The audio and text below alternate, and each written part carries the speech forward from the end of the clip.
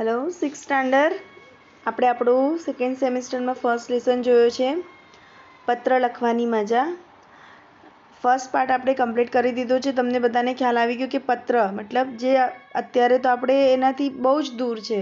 Mobile internet મેં emails બધાને મેં તમને પહેલાં જ કીધું એમ. અત્યારે આપણે એનો એટલો બધો યુઝ કરીએ છીએ કે આપણને એકચ્યુઅલમાં પહેલાંના જમાનામાં લોકો લેટર કેવી રીતે લખતા હતા, એનું શું મહત્વ હતું એ તો ભૂલી જ ગયા છે. પણ ડોન્ટ વરી હું તમને ફરીથી એક ચાન્સ આપીશ. આ પત્ર કેવી રીતે લખવાનો, કેવી રીતે એને મોકલવાનો બીજી જગ્યાએ, એ આપણે આપણી નેક્સ્ટ એક્ટિવિટીમાં જોઈએ છે. ફર્સ્ટ આપણે આનો સેકન્ડ પાર્ટ આપણે હજી કમ્પ્લીટ કરીએ છીએ. આપણે શું વાંચ્યું હતું કે લાસ્ટ ટાઈમ પત્ર એના સરને જે બધી વાત કરે છે કે સર અમે વેકેશનમાં છે, તો તમે તમે અમારા બહુ જ પ્રિય સર છો. તમે અમને ભૂલી જશો. ને એ બધી જે વાત થાય છે એના ઉપરથી હવે આગળ શું કહે છે કે બધા ફ્રેન્ડ શું વિચાર નક્કી કરે છે કે ચલો આપણે પણ એક પત્ર લખીએ. તો જુઓ, પત્ર લખનારે પોતાનું નામ, સરનામું તથા તારીખ પત્રના મથાળે જમણી બાજુએ લખવા. જમણી બાજુ મતલબ તમારી રાઈટ સાઈડ લેટરની જે રાઈટ સાઈડ હોય એના ઉપર તમારું નામ, તમારું સરનામું, તમે જ પત્ર લખો છો એટલે તમારું બધું લખવાનું તારીખ. એ બધું તમારે જમણી સાઈડ લખવાનું હોય છે રાઈટ સાઈડ પછી શું કહે છે? જેને તેમનું યોગ્ય સંબોધન કરવું. આપણે જેમને પત્ર લખતા હોય, ધારો કે તમે તમારા સરને લખો છો, તમારા પેરેન્ટ્સને લખો છો, તમારા ફ્રેન્ડ્સને લખો છો, એનું સંબોધન કરવાનું કે ભાઈ હું પૂજ્ય સર, મતલબ આ ગુજરાતી છે, તો આપણે ગુજરાતી લેંગ્વેજમાં જ પત્ર લખવાનો છે. તો શું કે છે, તમે કોના કોને પત્ર લખો છો, એ ઉપર ડિપેન્ડ થાય છે કે તમારે સંબોધન કેનું, શેનું કરવું જોઈએ. આપણાથી મોટા હોય તેમને પૂજ્ય કે આદરણીય અને મિત્ર કે સરખી ઉંમરની વ્યક્તિ માટે પ્રિય કે સ્નેહી એવું લખી શકાય. સંબોધન પછી અલગ લીટીમાં યોગ્ય વિવેક વચન લખવું. સૌથી પહેલાં આપણે લખીએ છીએ ઇંગ્લિશમાં ડિયર સ્ટુડન્ટ્સ યા ડિયર ડિયર પેરેન્ટ્સ અમારે તમને કોઈ બી નોટિસ આપવી હોય તો અમે એમ લખીએ છીએ. તો આપણે ગુજરાતીમાં લખી જોઈએ તમારી મોટી ઉંમરના ધારો કે તમે અમારા માટે લખો છો યા તમારા પેરેન્ટ્સ માટે લખો છો. તો તમારે શું લખવાનું છે? પૂજ્ય. પૂજ્ય મતલબ એક વડીલ. વડીલને જે આપણે ઉપમા આપીએ છીએ એ. પૂજ્ય કે આદરણીય. આદરણીય મતલબ હું તમારા આદરમાં છું એ રીતે. મિત્રને તમારા હોય તો પ્રિય કે સ્નેહી પણ તમે લખી શકો એની નીચે જ પછી તમારે એમને વિવેક વચન. વિવેક વચન મતલબ નમસ્તે છે, સાદર પ્રણામ છે અને મિત્રો માટે સ્નેહ ભરી યાદ. એવું લખી શકાય. સૌથી પહેલાં આપણે જેને લખીએ છીએ એને નમસ્કાર યા પ્રણામ તો કરીશું જ. એ થઈ ગયું. ફર્સ્ટ લાઇનમાં એમને સંબોધ કરવાનું છે, પછી એમનું વિવેક વચન લખવાનું છે, એની પછી ફકરો. ફકરો મીન્સ પેરેગ્રાફ આગળથી થોડી જગ્યા છોડીને એમની માટે પેરેગ્રાફમાં પછી એની, આપણે જે બી કારણસર મતલબ અમને વેકેશનમાં જે તમે અનુભવ કર્યા એ, યા ફિર તમારે કોઈ છુટ્ટી જોવે છે, યા ફિર તમારા ઘરમાં કોઈ પ્રસંગ છે, એના માટે તમે શું શું તૈયારી બતાવો છો, એ તમારું જે પણ યોગ્ય મથાળું હોય, મતલબ જે ઇન્ટેન્સથી જે હેતુથી તમે પત્ર લખો છો, એ તમારે બે બે લાઇનમાં લખવાનું, જે તમારો સબ્જેક્ટ કહેવાય છે. ઇંગ્લિશમાં તમે નોન છો એનાથી. કારણસર પત્ર લખ્યું તેના વિશે લખવું પત્રના અંત ભાગમાં વિદાય વચન લખવાનું હોય છે. વિદાય વચન લાસ્ટમાં આપણે લખીએ છીએ, લિખિતન લિખિતન હું આ, લિખિતન હું આ, એવી રીતે. એમ લિખિતનમાં આવે છે, સ્નેહાધીન રેશમાં. તમે કોઈ પણના નમસ્કાર પાછા સૌ પ્રથમ પણ આપણે શરૂઆતમાં પણ એમને નમસ્કાર કરીએ છીએ અને લાસ્ટમાં જ્યારે આપણો પત્ર, જ્યારે આપણો પત્ર પૂરો થાય છે, ત્યારે પણ આપણે એમને નમસ્કાર કરીએ છીએ. એવી રીતે લાસ્ટમાં પત્ર પૂરો થાય છે અને ફકરો, મતલબ કોઈ પણ ટોપિક લખો તમે, એક પેરેગ્રાફ, બે પેરેગ્રાફ, ત્રણ પેરે જે પણ લખો એ તમારે ફકરો, મતલબ પેરેગ્રાફ પાડીને જ અંદરની વિગતો લખવાની હોય છે. ઓકે. આ થયું એનું બેઝિક બેઝિક મતલબ એનું તમને બતાવ્યું છે કે આવી રીતે સ્ટાર્ટિંગમાં આ લખવાનું, પછી આ પછી આ. હવે એને આપણે રેગ્યુલર રૂટીનમાં લખવું હોય તો કેવી રીતે લખવાનું છે? એ હું જ્યારે આપણે નેક્સ્ટ આપણે નેક્સ્ટ ક્લાસમાં જઈશું સ્કૂલમાં, ત્યારે હું તમને બ્લેકબોર્ડ પર લખીને બતાવીશ. હવે એ શું કહે છે કે આટલું લખવાથી ઇઝીલી તમારો પત્ર, મતલબ એવું નહીં કે તમારો અહીંયા પત્ર ફિનિશ થઈ ગયો છે.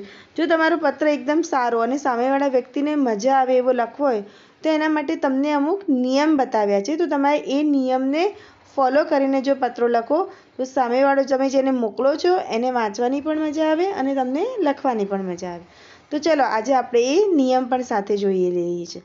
બાલ દોસ્તો, પત્ર લેખનમાં બીજી પણ કેટલી કાળજી રાખીએ તો આપણે લખેલ પત્ર બીજાને વાંચવાની મજા આવે.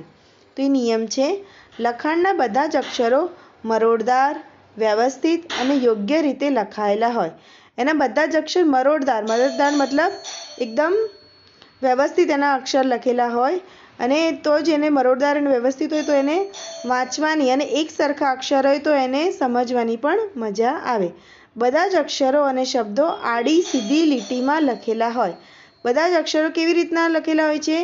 શબ્દો આડી સીધી લીટીમાં લખેલા હોય છે. જે આડી લીટીને આપણે જે વાત કરીએ છીએ એમાં એકદમ સીધા, મતલબ એક ઉપર નીચે વાંકું, ચૂકું એવું નહીં. બધા જ અક્ષર એકદમ સરસ લાઇનમાં લખેલા હોવા જોઈએ. બે અક્ષર વચ્ચે, બે શબ્દ વચ્ચે તેમજ બે લીટી વચ્ચે યોગ્ય અને એક સરખું અંતર રાખેલું હોય. અક્ષરો ઘૂંટેલા જાડા પાતળા ન હોય કે લખાણમાં છેક છાક છેક છાક મતલબ તમે જે લખો અને આમ ઇરેઝ કરો, પાછું લખો, એના ઉપર પાછું મિસ મિસ્ટેક નહીં કરવાની. એવું જો તમને ના ફાવતું તો તમે પહેલાં એક રફમાં એક પેપરમાં તમારું પે તમે જે પત્ર લખવા માંગો છો એ તમે લખી શકો છો અને પછી એનો ફેર બનાવીને તમે બીજા પેજમાં લખી શકો છો. અને બે અક્ષર વચ્ચે અને બે શબ્દ વચ્ચે જો સમાન અંતર રાખો તો તમારું લખાણેલું જે લખેલું પત્ર હોય એ બહુ જ સુંદર લાગે છે. અક્ષરોના વળાંક એક સરખો હોય. વિરામ ચિહ્નોનો યોગ્ય ઉપયોગ થયો હોય. લેખનમાં ભાષાકીય ભૂલો ન હોય. મતલબ જે ભાષા, ભાષાકીય મતલબ ગ્રામર મિસ્ટેક જે તમારી ગ્રામર મિસ્ટેક છે, એ ઓછામાં ઓછી થવી જોઈએ એટલે જ કીધું, પહેલાં તમે રફમાં લખી શકો છો, પછી એને ફેરમાં બતાવી શકો છો. પત્રમાં પોતાના વિચારોને સ્પષ્ટ અને સરળ રીતે રજૂ કરેલા હોય. તમે જે પણ કંઈ કહેવા માગો છો, એ તમે અંદર સુંદર રીતે અને સરળ રીતે તમારા પત્રમાં દર્શાવો. તો સામેવાળા વ્યક્તિને પણ ખબર પડે કે આ વ્યક્તિ શું કહેવા માગે છે અને શેના વિશે એણે પત્ર લખ્યો છે? તો તમારા જે વિચારો એ તમારે સ્પષ્ટ રીતે લખેલા હોવા જોઈએ. મારો આ પત્ર વાંચીને તમે પણ મને પત્ર લખજો. વેકેશનમાં તમે કઈ કઈ પ્રવૃત્તિઓ કરી તે વિશે ખાસ લખજો. જે વિદ્યાર્થીઓનો પત્રો ન મને મળશે તે બધા જ પત્રો વેકેશન પછી હું નિશાળમાં લઈ આવીશ. અત્યારે વિજ્ઞાન યુગમાં મોબાઈલ, કમ્પ્યુટર અને ઈમેલનો વપરાશ ખૂબ વધી ગયો છે. જેમ આપણે પહેલાં વાત કરી એમ. સાચે જ અત્યારે આ બધું ટેકનિકલનો ઉપયોગ એટલો બધો વધી ગયો છે કે આપણે મતલબ જે એકબીજા લાઈક તમે મેસેજ આપ્યો, ત્યાં ફોરવર્ડ કર્યો, એમને વાંચી લીધો, પછી એ ડિલીટ પણ કરી દેશે. પણ જો તમે આવી રીતે લેટર લખેલો હશે કોઈને પણ યા કોઈની માટે સારો આવો મેસેજ લખેલો હશે, તો એ કોઈ દિવસ ફાટતા બી નથી. લાઈક મારા જ મારા જે અમે જે ફર્સ્ટ ટાઈમ અમારા સ્કૂલ ટાઈમમાં કોલેજ ટાઈમમાં તો એ બધી જ યાદો, એ બધી જ પેપર્સ એ બધું જ અમારી પાસે હજી પણ એટલું ઇઝીલી છે. જો તમે લખેલું હશે તો તમે ક્યારે પણ વાંચી શકશો. પણ તમે જો મોબાઈલ યા ઈમેલથી કરશો તો વન્સ તમારા ફોનમાં મતલબ સ્પેસ નહીં હોય તો તમારે ઓટોમેટિક એ ડિલીટ કરવું જ પડે છે. એટલા માટે જ કહે છે કે જો લખેલું આ લેટર આવી રીતે તમે કોઈને લખશો તો એ એની સાથે વર્ષો વર્ષ સુધી એક યાદ બનીને રહેશે. પત્રો ખૂબ ઓછા લખાય છે. છતાંય ખુલ્લા અને મને મને મોકળાશથી પત્ર લખવાની અને આવા પત્રો વાંચવાની મજા તો કંઈ ઓર જ હોય છે. ભલે ઓછા લખાય છે. જેટલા બી લખાય છે. જો અત્યારે મારી પાસે કોઈ બી પાંચ છ લેટ, સ્ટુડન્ટ્સનો બી લેટર આવી રીતે આવ્યો હોય, તો મને એ વાંચીને કેટલો આનંદ થાય. આજે હું વાંચું, પાછું ચાર દિવસ પછી પાછી મને વાંચવાની ઈચ્છા થાય, તો હું એને ફરીથી વાંચું. વર્ષ પછી થાય. તમે આ સ્ટુડન્ટ તમે બધા મોટા થઈ જાઓ બહાર કોલેજમાં જાઓ, તમારા કેરિયરમાં આગળ વધો. પણ મને સડનલી તમને યાદ આવી જાય, તો હું તમારો એ પત્ર ખોલીને તમને યાદ કરું. એટલા માટે જ તો કહે છે, ભલે ઓછા લખે છે, પણ એને જ્યારે મોકળાશથી પત્ર લખવાની મજા જ કંઈક ઓર હોય છે. તમારા વડીલોને મારા વંદન કહેજો. તમે સદાય આનંદમાં રહો તેવી શુભેચ્છા પાઠવું છું. કોઈ પણ હોય બ્લેસિંગ્સ તમને સર હોય, તમારા પેરેન્ટ્સ હોય લાસ્ટમાં તમારે એમને બ્લેસિંગ્સ તમને મળે છે એમના તરફથી, એવી રીતના કહે છે. અને નીચે શું કહે છે? લિખિતાન અશોક સોમપુરાના આશીષ. જેમણે પત્રની શરૂઆત કરી, એમણે લાસ્ટમાં અશોક સોમપુરાના આશીષ આશીષ મતલબ તમારે સ્નેહ, તમારો પ્રેમ ભર્યો અમને જે સ્નેહ મળ્યો છે તે. ઓકે. આને જ રિલેટેડ છે આપણી શબ્દ સમજૂતી, સંબોધન. બોલ બોલ બોલાવવા વપરાતો શબ્દ, સાદર, આદર. મતલબ જે સન્માન આપણે આપીએ છીએ, આપણા ઘરે કોઈ ગેસ્ટ આવે એને પણ આપીએ છીએ, એને સંબોધન. એટલે જે મેં તમારો સબ્જેક્ટ કીધો હતો એને રિલેટેડ છે એને સંબોધન પણ કહેવાય છે.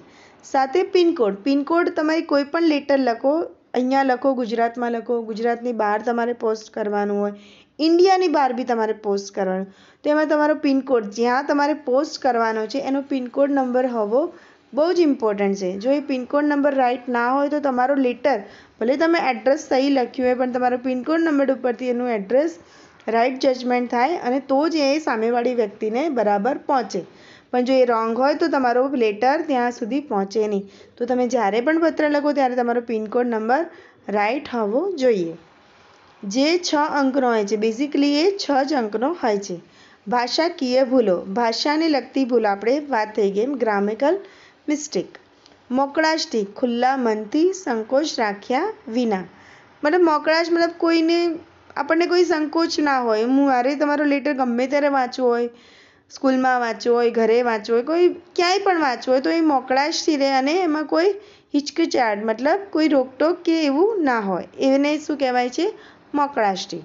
લિખિતન લિખિતંગ. જો લિખી, લી એક એનું શોર્ટ ફોર્મ છે.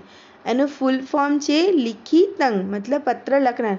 હું પત્ર લખું છું તો નીચે મારું નામ આવશે, તમે પત્ર લખતા હશો તો નીચે તમારું નામ આવશે. ઓકે? આપણે આ બેઝિક રીત જોઈ લીધી છે કે પત્ર કેવી રીતે લખાય અને એની અંત કેવી રીતે કરાય છે. હવે આપણે એને પ્રેક્ટિકલ આપણે બ્લેકબોર્ડ ઉપર નેક્સ્ટ ટાઈમ આપણા જ્યારે સ્કૂલમાં હું આવીશ ત્યારે જોઈશું. તમારે ફક્ત આ સરસ રીતે રીડિંગ કરવાનું છે અને સમજવાનો છે. અને હું તમને એક એક્ટિવિટી આપું છું કે તમારે અત્યારે તમે ઘરે લોકડાઉન પીરિયડમાં આટલા આપણે એઇટ યર ટેન મંથ્સ થઈ ગયા છે.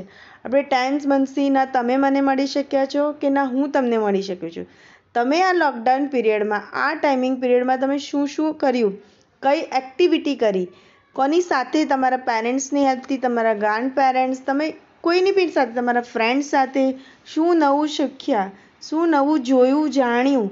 આ વાયરસે આપણને કેવી રીતે ક્રિટિકલ સિચ્યુએશનમાં અત્યારે મૂકી દીધા છે? જેને કારણે કેટલા બધા લોકોને ફેસ કરવો પડે. એવી કોઈ પણ તમે તમારી રીતના યા તમને બેઝિકલી જનરલ નોલેજથી જે પણ તમને લાગે તમારે એક નાનકડા એવા પત્રકમાં લખીને તમે મને ક્યાં સેન્ડ કરશો? આપણી અર્જુન સ્કૂલમાં. તમે સિક્સ સ્ટાન્ડર્ડના સ્ટુડન્ટ છે આઈ નો ઓલ બધાને જ ખબર છે. તો તમારી પાસે આપણી સ્કૂલનું એડ્રેસ છે જ. તો તમારા લેટર મને એઝ સુન એઝ જલ્દીથી મળે અને હું તમારા બધાના લેટર એ જ ખુશીથી, એ જ આનંદથી, જેમ આ આપણે લેટર આપણે પાર્ટ એક્સપ્લેન કરીએ છીએ, ત્યારે કરીએ છીએ, એ જ ખુશીથી, એ જ આનંદથી હું તમારા લેટર પણ વાંચું એવી મને આશા છે. અને આઈ હોપ તમે બધા જ આમાં પાર્ટ લો અને લેટર કેવી રીતે લખાય છે, કેવી રીતે અંદરની વિગત લખાય છે, એ તમે જોઈ, જાણી, સમજીને લખો. હું તમારા રિપ્લાયનો રાહ જોઈશ. Okay students bye and thank you